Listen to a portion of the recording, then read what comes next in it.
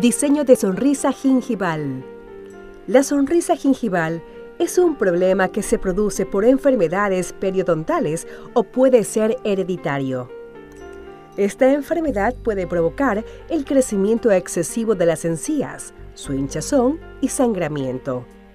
Este tipo de inflamación es usualmente tratada con raspaje y curetaje. Si el problema es hereditario, la solución sería una combinación de tratamiento periodontal, es decir, una incisión en las encías y un tratamiento cosmético con luminaires, carillas o coronas.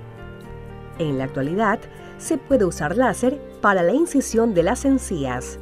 Este procedimiento es menos doloroso, hay un sangrado menor y la curación es mucho más rápida.